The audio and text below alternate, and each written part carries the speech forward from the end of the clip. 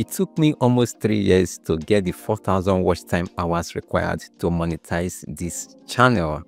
However, the new generation of YouTubers we have today has found a way to get these 4000 watch time hours in a matter of days.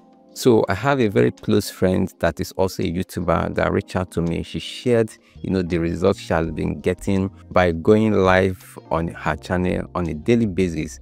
And she do get a minimum of 200 watch time hours every day.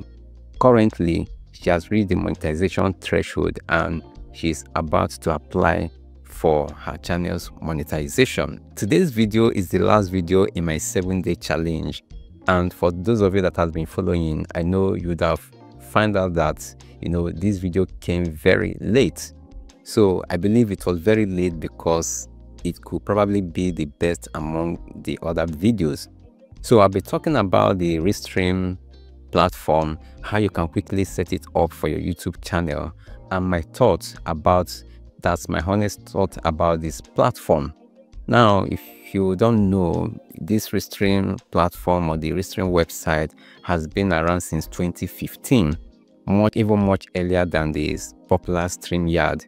For those of you that have been watching my live stream, I use the StreamYard platform to stream most of my live videos on this channel. So these platforms are legit platforms, just like any other platform that you can incorporate into your YouTube channel. So one good thing about this live stream platform that is Restream, StreamYard, we have the One Life um, platform as well. The the good thing about them is that they make going live on your YouTube channel or even other social media platform very very easy very seamless. So like if you're not a tech savvy person you can easily go live even without having much or know complex gadgets setting up complex gadgets. So that is the key purpose for this i mean live stream platforms. They are meant to enable you know content creators to go live not only content creators but also businesses to go live on even their websites. So now there's one particular feature that the restream platform has that most probably even others don't have. So this new set of youtubers or, the, or our new generation of youtubers are now using this one feature to their advantage.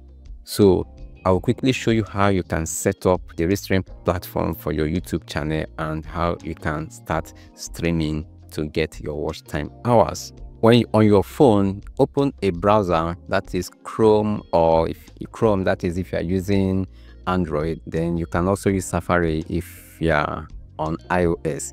Then just type restream.io and then this will take you to the website of um, the Restream platform. If you are new to the platform, you'll be required to sign up. So to sign up doesn't take much time. Enter your email address, enter the password, click the sign up button and they will send you a link where you can now activate your account. It is just as simple as that. So already I have an account created on this platform. So I will click on the login now, enter my email address, enter my password and then sign in to account. So here i've already created an account and i'm signing into my account. So now i want to go live. That i want to live stream. So one good thing about this platform is that you can use a 10 minutes or 20 minutes video and play it and you know loop it for several hours. So now what i will do is click on new stream select Restream Studio. That will take you into the the Restream Studio, that's the live studio. Then here it will need access to your mic and camera. Just accept, allow the access. Then here I will just choose allow only this time. Just I want to use this for tutorial purpose. Only this time. Here you enter your name and then click enter studio.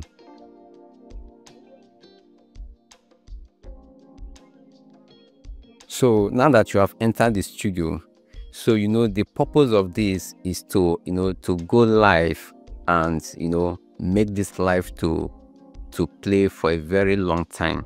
So what you will do here is now you have to click these three dotted buttons here then local video. So here i will just pick a video in my gallery that is on my phone so now i've uploaded a video on my gallery. So make sure that you tap on this particular um, on this particular icon this particular one. So now i will need to go live but before i go live i will need to link it to my youtube channel. So here i will now click the plus channels then we have the list of um, the social media platforms where you can connect this live stream to or connect your account to so i want to connect to my youtube channel i click connect then select channel then it now requests me to select my Google account. I select the Google account, then select my YouTube channel. Then I need to allow it to sign in, the Restream to sign into my YouTube channel. And now I have given the Restream, Restream wants access to your Google account. So I will click continue. And now my channel has been added so you can see here that my channel is added and when i click on this button here you can see that i can you know make some edits so here i can select any event like i can go to my youtube channel or my my youtube studio on a browser and you know schedule a live stream there schedule it to run in the future then when i schedule it it will appear here then I can select it. Okay, let me just, let me select this particular one and then I'll make sure like this is a tutorial video. So I will, I will unlist it. And then if I want to change the thumbnail, I can change the thumbnail and then click save. So this is how you can link your Restream account to your YouTube channel. So when I'm done, I'll click save. So it's not saved. So this video, this is like about 30 minutes to one hour and short video so what i want to achieve is this when i start when i start going live this video will be repeating itself. So this is where you know a lot of youtubers that use this platform this is where they go wrong with this platform. So i'm going to talk about this later in this video. So when everything is done and you are ready so another thing you need to take note of if you want this video to repeat if you want this video to repeat you click on this three dotted three dots and then click loop video. So when this video finish playing it will start afresh. So this video will be on loop. So i'm going to tell you how you can do this later in this video. So when everything is set you can now click go live. So when you click go live this video will you know will start streaming on your channel. So know that you have to make it public on your channel make the video i mean make the live stream public for people to be able to watch it. When you are done with the live stream you just come back here and click end stream and click ok. The live stream has ended. So that is how to link your YouTube channel to the Restream, your Restream account and also go live with it. So one key feature that this platform has is that you can play your video, it can play your video over and over again for, you know, for some hours or even more. So I don't know the limits that you can go with it but i can see some other youtubers that have used it for save for like a couple of hours so this is the strategy that this new generation of YouTubers are using and it worked for them.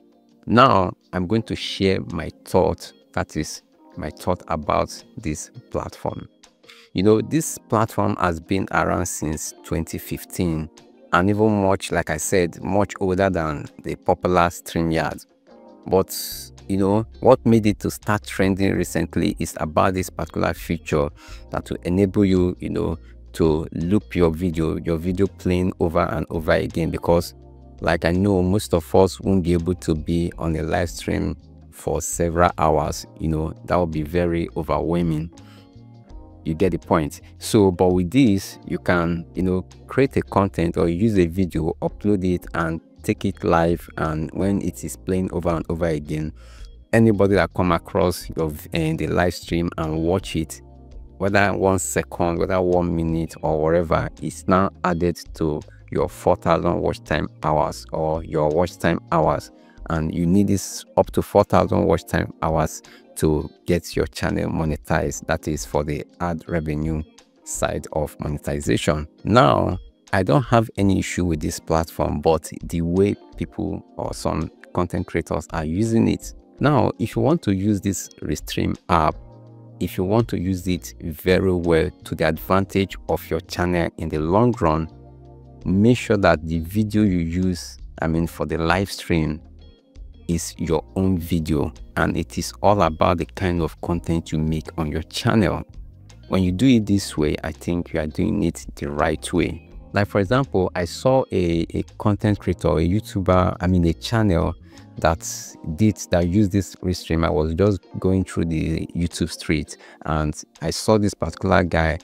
This channel is a comedy channel. What this guy did was he did like about 10 minutes video about his skit his own skit. You know i was even watching the skit. I was even enjoying the skit. But suddenly the video repeated. So i said okay that this is a restream um, effect on this live stream.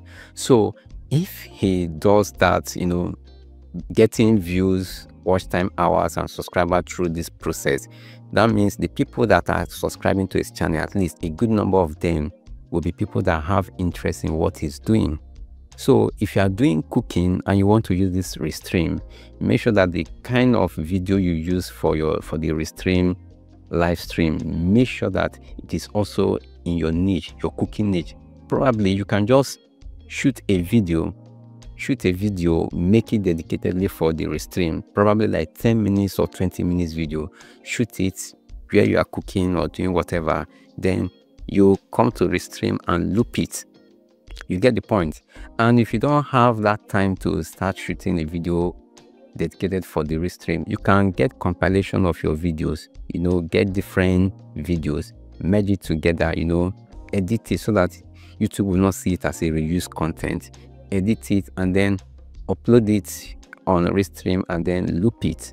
So with this, you know that the, at least a good number of, of subscribers or viewers or audience you'll be getting from that stream will definitely be people that will be interested in your kind of content in the long run. Now, one thing you need to understand is that this particular strategy, like in my own opinion, I don't think is the best it's not the best, but it's like a, a better way, I mean, a better shortcut to get your 4,000 watch time hours. That is, if you are if you have been struggling with the 4,000 watch time hours over time. So if you know that your YouTube channel, you'll be doing a particular thing over time, then you can intentionally start doing that kind of content along the line. So just like I can see some content creators, they will they have a particular niche but when they see that a particular kind of topic is trending they jump into the um, bandwagon and when they join into that bandwagon and pull some kind of audience into their channel they'll be surprised that they get like 10,000 views in a particular video and then in the subsequent video they start getting 100 views 50 views and all those stuff so i hope that this video has we enlighten you. So if you are struggling for the 4000 watch time hours, this is a good way to achieve it. Yeah, that is my inverter. So this is a good way to achieve your 4000 watch time hours. But when you are doing it, do it in a very decent way, just like I've explained earlier. And if you have gotten your 4000 watch time hours and have gotten your channel monetized through the restream strategy, please, I would like you to share your experience in the comment section other content creators in this community would like to hear from you as well. So if this video was helpful, please give it a thumbs up. And if you have not joined the community, please hit the subscribe button. Definitely, you know you need to share this video because there are some people that have been struggling for months and years to reach the 4000 watch time hours. You can let them know that there's a good option that they can try. And you know the earlier the better because when this platform when they discover that people are using this their future frequently they might end up turning it off. So the earlier the better. If you know you can achieve this you can do it. And mind you don't use someone else's content when you are using this type of strategy. Because at the end of the day what will you gain after getting 4000 watch time hours? And youtube definitely at the end of the day deny you monetization. That is another worst state where you can find yourself you can watch this video where someone after over one year you know YouTube still deny them their monetization. So thank you for watching and I will see you in the next one.